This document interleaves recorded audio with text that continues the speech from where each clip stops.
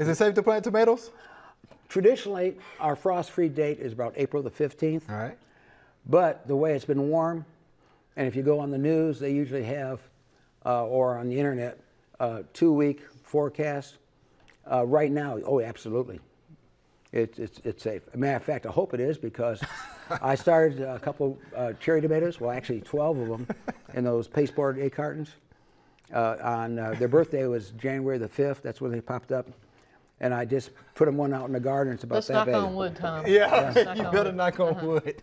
But Well, I, I'll tell you I'm what. with you. When we get when we get close to April 15th, I always look at the extended forecast, Mm-hmm. and then that's kind of. And if I have to, and we get a little frost, I'll be out there going, trying, to keep, trying to keep them alive. Oh, I remember one summer uh, we had frost about middle of May It can Yeah. happen.